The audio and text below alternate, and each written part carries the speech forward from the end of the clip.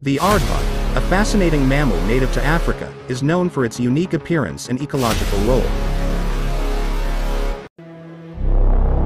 With its long, tubular snout, sharp claws, and large, rabbit-like ears, the aardvark is expertly adapted for its insectivorous lifestyle.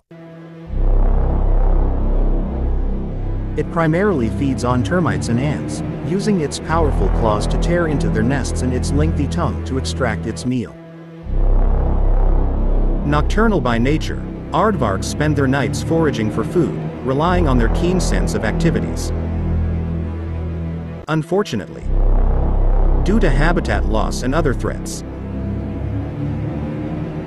some aardvark species are facing conservation concerns.